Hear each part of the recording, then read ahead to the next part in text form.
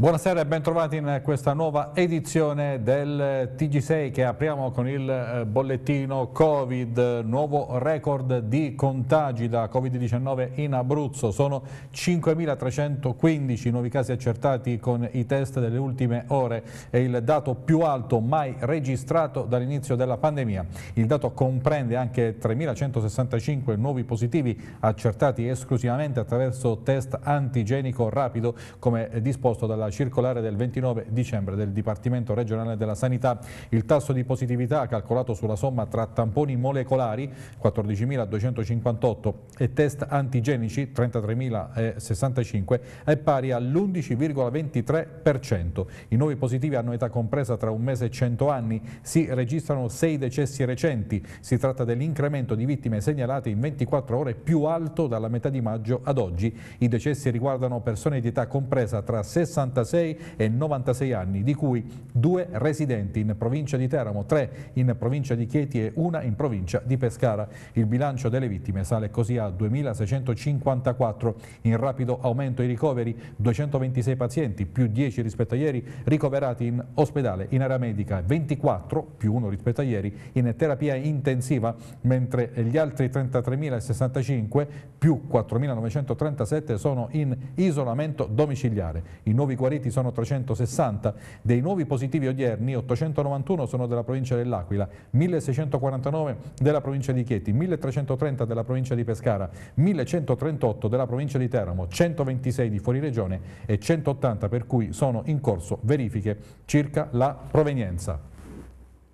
E nel tardo pomeriggio si è riunita l'unità di crisi eh, regionale, vediamo mm, cos'è emerso nel prossimo servizio.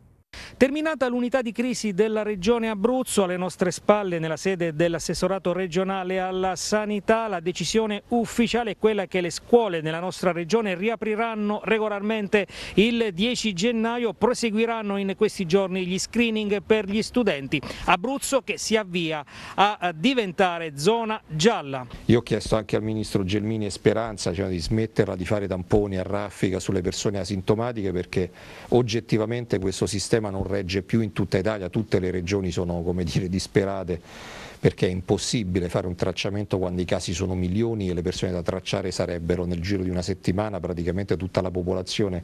E quindi ci stiamo concentrando sullo screening per gli studenti per riaprire il 10 nella maggiore sicurezza possibile cercando di far emergere al setaccio tutti i casi positivi che possono emergere con uno screening con i tamponi antigenici e poi continuare a lavorare come abbiamo fatto, la Regione Abruzzo è tra le migliori in Italia come performance in questo senso, di anticorpi monoclonali, insomma le, le cure, le terapie, adesso ci hanno distribuito anche nuova, questo nuovo farmaco che cominceremo ad utilizzare sui casi target. Presidente, l'Abruzzo entra in zona gialla con questi numeri?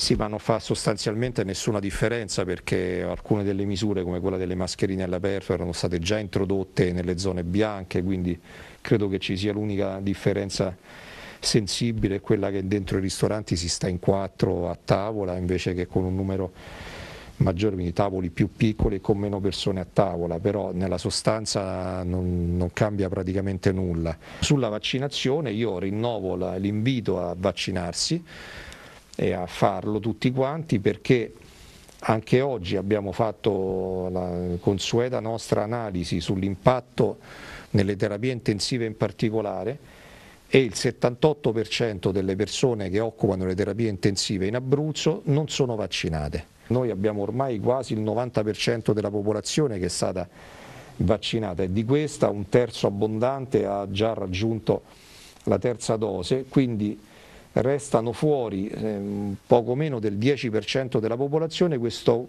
poco meno del 10% di popolazione che non si è vaccinato riempie quasi per l'80% è quella che occupa i posti letto in terapia intensiva e per oltre la metà i posti letto in area medica. È vero che è relativamente meno pericolosa eh, la Omicron della variante Delta, ma provocando un, numero molto maggiore di persone che si ammalano, anche se la percentuale di quelli che finiscono in terapia intensiva è più bassa, il numero assoluto alla fine diventa insostenibile ed ha provocato quello che sta accadendo appunto più, più del raddoppio delle, dei posti letto occupati, è un trend che ancora continua a crescere e le previsioni ci danno almeno altre due settimane di questo, di questo trend prima di attendersi una discesa. Siamo stati questa mattina presso l'hub vaccinale di Città Sant'Angelo dove nei giorni scorsi si erano create alcune tensioni per via di tanti non prenotati che eh, volevano sottoporsi al vaccino. Soddisfatte le persone in fila mentre il responsabile della vaccinazione dell'ASL di Pescara Rossano Di Luzio conferma l'apertura del nuovo hub a Pescara per la prossima settimana. Stefano Recanati. Prenotazione. Prenotazione. Lavorazione? Peccarosa? Ok, lavorazione? Vengono respinti e dirottati verso altri hub vaccinali non prenotati, ad eccetto di chi deve effettuare la prima dose. Dopo le polemiche dei giorni scorsi sembra tornata alla normalità la situazione presso l'hub di Città Sant'Angelo. Questa mattina, seppur in tanti in fila, i tempi di attesa tutto sommato sono tornati nella norma. Da che ora siete in fila per fare il vaccino? Eh, 10 meno un quarto. È una fila che scorre o ci sono dei rallentamenti? Sì, sì, ma scorre, scorre. 6.200 i vaccini effettuati negli ultimi due giorni negli hub di competenza della ASL di Pescara, 4.800 un record solo nella giornata di ieri. Il responsabile Rossano Di Luzio risponde alle polemiche dei giorni scorsi. Attualmente le prenotazioni le abbiamo fino a fine marzo, probabilmente nei prossimi giorni, la prossima settimana apriremo un altro hub a Pescara e quindi queste persone che non riescono a trovare la, lo spazio negli hub già presenti sicuramente troveranno spazio nel nuovo hub vaccinale di Pescara. A scatenare la corsa ai vaccini sono state le nuove regole dettate dal governo nazionale che ha ampliato l'uso del Green Pass a partire dal 10 gennaio. Purtroppo chi tardi arriva male alloggia. Eh, noi cerchiamo di fare il possibile, ripeto i numeri sono veramente impressionanti. E intanto c'è chi per ingannare la noia dell'attesa si è portato un libro da leggere. Me le dicevo sì, infatti mi sono portato un bel mattone qui da leggere. Speriamo di non finirlo nella giornata giornata di oggi? Speriamo di no, grazie. E oggi terza dose per un futuro migliore? Ovviamente, speriamo. Nove donne in attesa positive al Covid-19 non vaccinate contro il coronavirus prossime al parto si trovano nell'unità operativa di ostetricia e ginecologia dell'ospedale di Chieti diretta da Marco Liberati. Un'altra donna positiva ha partorito proprio questa mattina. Il bambino è in buone condizioni ed è assistito dalla neonatologia e terapia intensiva neonatale diretta da Diego Gazzolo. Il Covid-19 in gravidanza mette a rischio le mamme e gli stessi neonati, spiega Liberati, il quale rivolge un pressante invito alla vaccinazione. Tutte le società società scientifiche di ginecologia e ostetricia, il Ministero della Salute e gli studi condotti fin qui evidenziano che il vaccino è sicuro e rappresenta una barriera fondamentale allo sviluppo della malattia e delle sue complicanze. Per le donne positive nel Policlinico di Chieti è previsto un percorso Covid-19 separato dalle altre puerpere. A loro è dedicata un'area del blocco operatorio Covid-19. Sono intanto stazionarie le condizioni di uno dei due neonati di appena 28 giorni ricoverati da ieri mattina nella terapia terapia intensiva neonatale di Chieti, mentre il gemello appare in miglioramento. E poi ancora nuove misure messe in atto dalla ASL di Teramo, visto l'aumento dei contagi per far fronte all'aumentata necessità di posti letto. Da domani la lungodegenza di Atri sarà riconvertita in medicina Covid. La disponibilità a regime sarà di 17 posti letto che saranno attivati però gradualmente a seconda delle necessità. Attualmente sono 52 i posti letto occupati nell'ospedale Covid di Teramo. L'azienda sanitaria è intervenuta anche sul fronte delle vaccinazioni per fronteggiare fronteggiare l'eccezionale richiesta di somministrazioni. Nel centro SPOC di Villarosa sono stati aumentati gli slot da 200 a 240 per ogni giorno previsto nel calendario, sin da domani. E sempre da domani nel lab del Parco della Scienza a Teramo gli slot saranno aumentati da 1200 a 1500 al giorno, ma nel contempo diminuiranno i posti per chi si presenta senza appuntamento, che scenderanno a 75 di mattina e altrettanti nel pomeriggio. Non si è fatta attendere la risposta dell'assessore alla protezione civile di Pescara Eugenio Seccia alle critiche del PD sulla gestione della campagna vaccinale. Paolo Renzetti. Assessore, eh, nei giorni scorsi, nelle ultime ore per meglio dire, sono arrivate delle critiche da parte dei consiglieri regionali e comunali del Partito Democratico alla gestione della campagna vaccinale a Pescara e anche quella relativa ai eh, tamponi. Lei eh, come Assessore alla Protezione Civile, come membro dell'amministrazione comunale, vuole fare delle precisazioni? Assolutamente, premesso che eh, l'attività è sanitaria e non del comune, noi ovviamente vogliamo andare incontro alle esigenze della città di Pescara.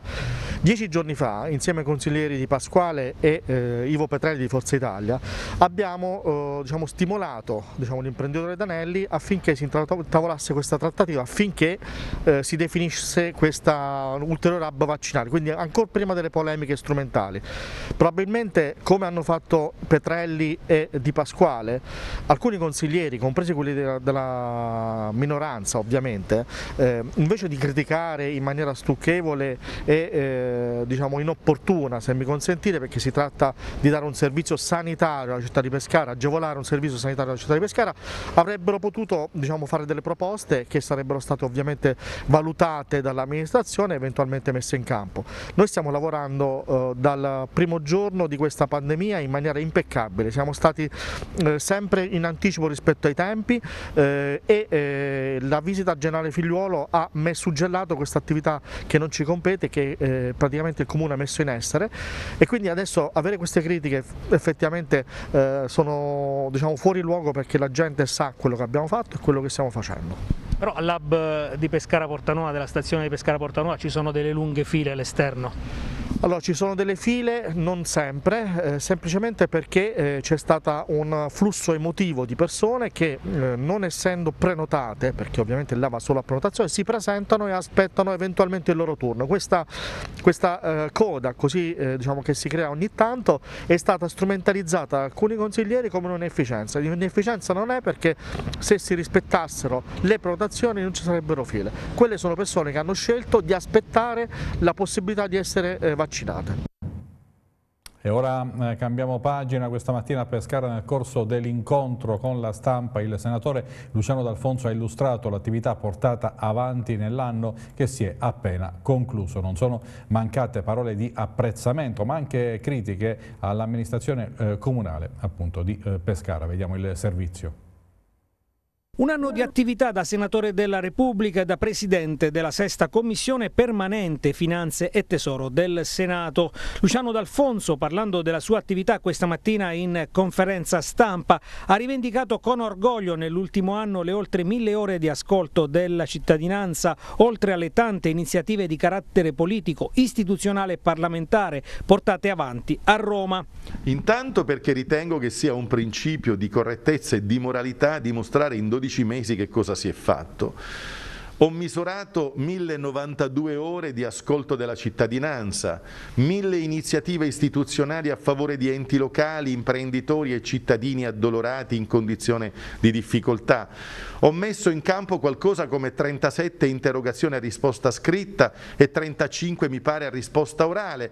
Ho messo in campo 5 iniziative di disegni di legge, delle quali iniziative 4 sono arrivate in porto votate integralmente da maggioranza e opposizione opposizione. Così come il lavoro fatto riguardante per esempio la linearità del lavoro nella fase del procedimento penale e nella fase anche processuale, l'obbligo della videoregistrazione quando si sentono a SIT, a sommare informazione, le persone informate sui fatti, finalmente la nostra iniziativa è calata nella legge delega di riforma del processo penale e fa obbligo di conservare memoria remota.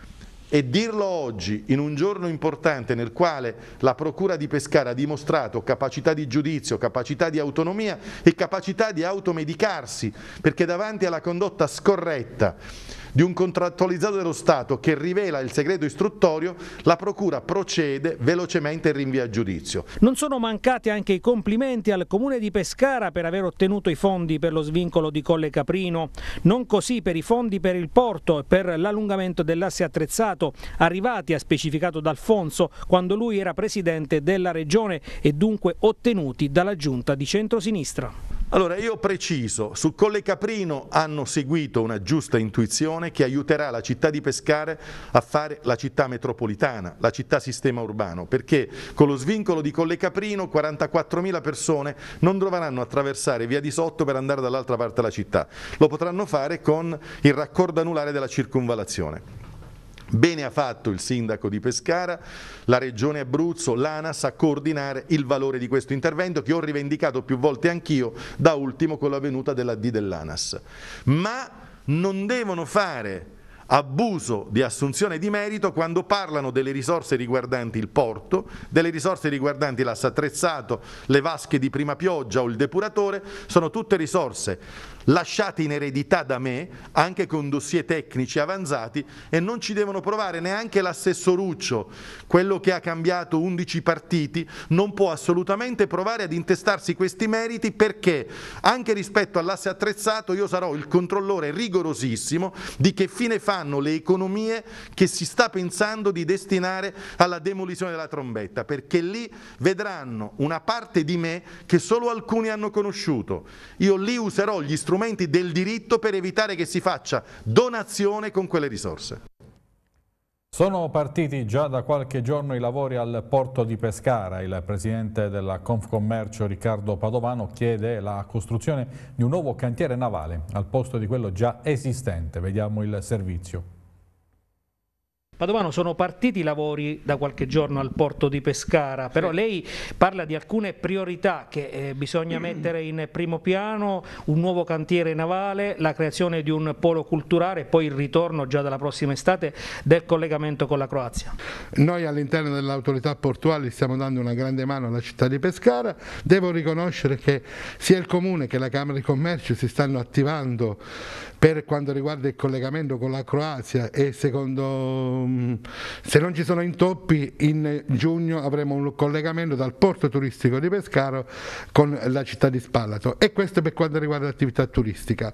Invece adesso sono iniziati i lavori, questa mattina sono andato al porto, è arrivato il secondo pontone per fare in modo che questo molo a nord di Ponente possa essere messo in opera da subito, cioè entro l'inizio della stagione prossima e già con, questo, con questa struttura avremo eh, debellato definitivamente il, il, divieto di balneazione per quanto riguarda la zona nord di Pescara. A seguire però dobbiamo mettere mano a questo polo culturale che si dovrà realizzare all'interno dell'area mercatale del porto di Pescara e ci, e ci riferiamo al mercato ittico all'ingrosso, il mercato ittico al minuto tu, e il museo del mare. Tutto questo deve rientrare in un'area prettamente culturale. Certamente c'è un programma, un cronoprogramma che adesso l'ARAT sta portando avanti, nella prima fase, nel primo tronco eh, riguarda il molo di costruzione di Ponente, ma nel contesto lo spostamento del cantiere ha, può rientrare tranquillamente eh, all'interno di, di, di un, cartaceo, non è che c'è bisogno di pensare, nel cartaceo si individua l'area, l'autorità portuale mette a, a evidenza pubblica quell'area in concessione per un cantiere ed ecco qua che può arrivare un privato e può realizzare realizzare a spese proprie un cantiere navale ad hoc idoneo per quanto concerne le attività eh, cantieristiche. Dureranno 60 giorni i saldi che iniziano oggi in Abruzzo. I dati del centro studi di Confcommercio parlano di un ritorno nei negozi di fiducia per il 50% degli intervistati e di un budget leggermente superiore a quello dello scorso anno. Serenia Secondi. I saldi invernali partono oggi e 6 italiani su 10, circa 15 milioni di famiglie, rispetteranno la tradizione e si dedicheranno agli acquisti destinando un budget di spesa complessivo fino a 275 euro contro i 254 dell'anno scorso. Questa è la fotografia dell'ufficio studi Confcommercio, secondo cui per l'80% dei consumatori i saldi sono un modo per rinnovare il guardaroba facendo anche qualche affare.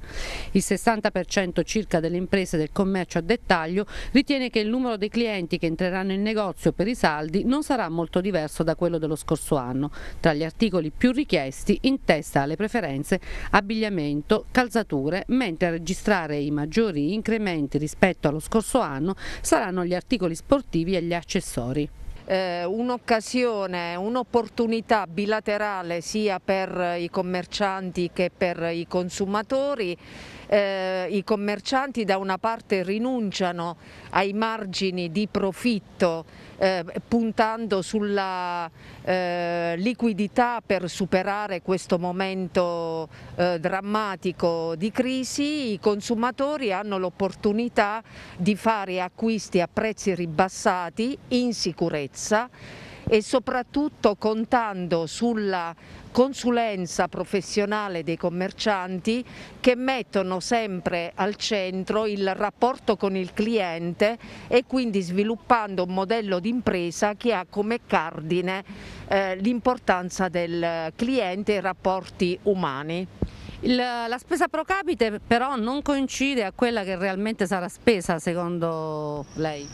Allora, la spesa pro capite a livello nazionale, Confcommercio e Federmoda hanno stimato eh, 4 miliardi circa eh, di spesa per i saldi invernali, con una spesa pro capite di 119 euro e 275 a famiglia. Però se mi permettete una nota polemica eh, direi che la gran parte delle famiglie queste cifre se le ha già spese eh, pagando delle esose bollette dell'acqua e anche della Tari eh, le cui rate sono arrivate già scadute e quindi da pagare in un'unica soluzione. Meno introiti per l'ente comunale e persone che perdono il lavoro. La cooperativa Tercop eh, contesta la procedura con cui il Comune di Teramo ha assegnato il bando per la gestione dei parcheggi ed è pronta a manifestare venerdì davanti a Palazzo di Città. Vediamo. Noi contestiamo il fatto che una gara, che quella che doveva essere una gara d'appalto, alla fine si è rivelata eh, un affidamento diretto. Il problema invece per l'hanno col diritto di prelazione che hanno regalato sostanzialmente alla, ai concorrenti eh, con una, un project financing che conti alla mano praticamente eh, offre al comune la metà di quanto oggi paghiamo oggi con meno personale e con meno stalli. Ovviamente la Tercop che dopo 30 anni di attività, eh, cercando onestamente di fare il proprio mestiere, praticamente non riesce più a partecipare a, gara, a questa gara d'appalto, è stata costretta a rinunciare, nonostante abbia vinto tutte le gare d'appalto che il Comune ha, fino ad oggi ha indetto. Quindi noi semplicemente abbiamo letto quello che eh, eh, la EasyHelp Costruttore Teramani ha offerto al Comune, quindi non è, non è, che ci stiamo inventando qualcosa, infatti abbiamo chiesto confronti col Comune su questi numeri, ovviamente eh, non sono mai venuti, eh, quindi eh, se loro hanno altri numeri ce li mostrassero, eh, ma so, per noi sono i documenti ufficiali quelli che contano. Sempre su questi documenti si parla, noi ne siamo 26, loro assorbirebbero 19 unità a 30 ore, adesso stanno a 36 ore, eh, ma soprattutto 4 persone eh, di, eh, di, riserva sostanzialmente, quindi lavorerebbero solo quando c'è qualche assenza, e 3 esuberi. Con l'innesto imminente, siamo alla pagina dello sport, con l'innesto imminente di Carlo Derisio per il Pescara la priorità ora è ancora di più cedere calciatori per contenere l'indicatore di liquidità e procedere solo successivamente ad altri innesti il servizio. Da ieri Carlo De Risio è a Pescara. Il giocatore assieme al suo procuratore Geri Palomba ha assistito alla seduta di allenamento diretta da Gaetano Auteri.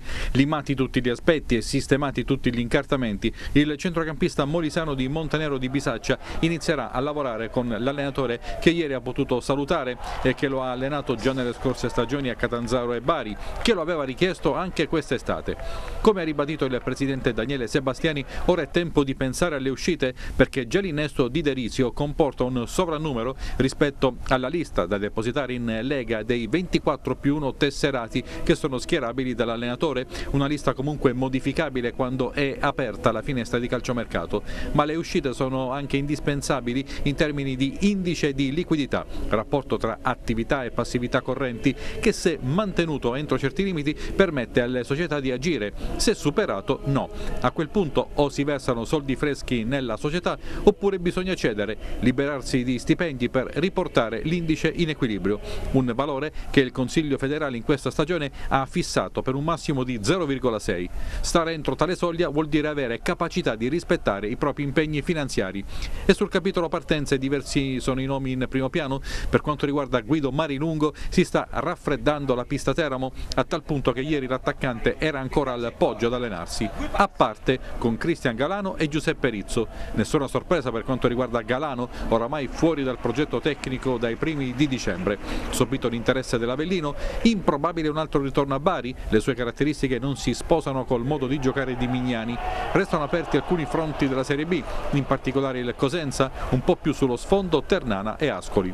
Fa specie che ci sia anche Rizzo tra coloro che si allenano a parte, era un profilo ipotizzabile per un'uscita, ma se questa cosa dovesse ripetersi anche nei prossimi giorni sarebbe un segnale chiaro di come la società non punti più sul centrocampista siciliano, tornato in bianca-azzurro alla fine del mercato estivo, ma che ha profondamente deluso per rendimento con la ciliegina, si fa per dire, della mega squalifica riportata con la Lucchese. Anche Frascatore potrebbe uscire, ma continua ad allenarsi con il gruppo, all'interno del quale sono stati aggregati due gioiellini della primavera, Vladislav Blanuta e Marco Delle Monache. Il Teramo Calcio ha reso noto che il ciclo di tamponi per l'individuazione del Covid-19 effettuato in mattinata dal gruppo squadra ha dato responso negativo. Restano in isolamento domiciliare i sette componenti risultati positivi nel test precedente, oltre ai tre soggetti per aver avuto contatti stretti. Nel rispetto del protocollo federale e sanitario vigente, la squadra proseguirà gli allenamenti al Bonolis e si sottoporrà lunedì prossimo ad una nuova serie di tamponi. Per quanto riguarda il calcio mercato sempre a Teramo è ufficiale la cessione al Modena di Piacentini mentre si raffredda la pista che porta all'acquisizione dell'attaccante Marilungo. Si attende la riorganizzazione della Salernitana, proprietaria del cartellino di D'Andrea per portarlo in bianco-rosso. Intanto il 12 gennaio la dirigenza sarà in procura a fornire le spiegazioni riguardanti la eh, documentazione per il passaggio di proprietà. Jacopo Forcella. Il 12 gennaio la dirigenza del Teramo andrà in eh, procura federale a spiegare le motivazioni che hanno portato sulla scrivania della Coaps una documentazione incompleta per poter dare l'ok al passaggio delle quote. Cosa mancava? Il certificato penale del DG Luigi Coni e una lettera bancaria. La società aveva prodotto un'autocertificazione dei carichi pendenti di Coni in attesa del certificato penale richiesto che il club ha fatto fatica a reperire a Roma per lungaggini burocratiche. Per quanto riguarda la lettera bancaria invece secondo quanto spiegato spiegato dalla società, l'istituto di credito di Orvieto si sarebbe rifiutato di redigerla secondo la forma prevista dal modello della Federcalcio.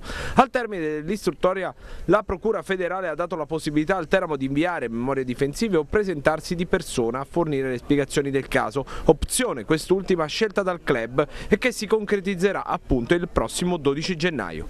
Dopo questo passaggio la giustizia sportiva deciderà se chiedere di archiviare il procedimento o deferire la società biancorossa con conseguente rischio di ammenda o penalizzazione. Il Teramo conta di risolvere la questione e uscirne solo con un'ammenda, ma la penalizzazione è un'ipotesi non smentita dalla società, ma che in questo frangente spera di evitare.